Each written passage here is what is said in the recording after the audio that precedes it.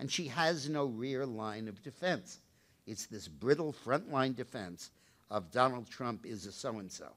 And once you get past that, she has nothing left to run on.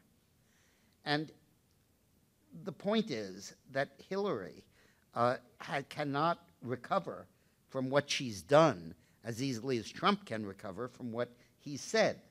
Uh, Trump in an hour can not say the things that he's accused of saying and uh, come across as he is, as a fair-minded, reasonable guy who'd make a heck of a good president. Uh, but Hillary cannot, in the space of an hour or a year or 10 years, live down what she's done. And that's the key to why I believe Trump can and will defeat Hillary. Because it's easier to undo what you've said and how you've acted if you've offended someone than what you've done in your past record. And let me just discuss this not from the perspective of a political commentator, but a, the perspective of the person who was once their chief advisor and was for 20 years. When you know somebody for, my God, 60 years, no, 40 years, not that old, 40.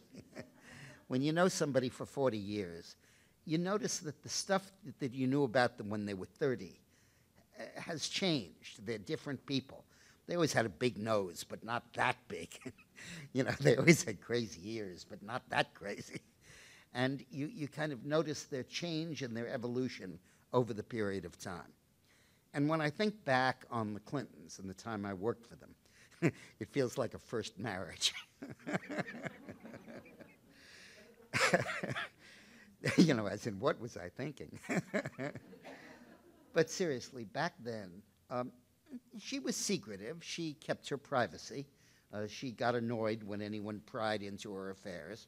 She was not above making a fast buck and exploiting an opportunity that came her way. But now, corruption and money making is the be all and end all of this couple's life. They have gone from a romance in the 1970s and 80s to a partnership in the 90s to a RICO, a racketeering organization today, where Bill's job is to pass the bag and Hillary's job is to offer access and favors to those who put money inside of it. And whether the bag is called their personal checking accounts, in which they've gotten $238 million of speaking fees and book sales, about 200 million of that speaking fees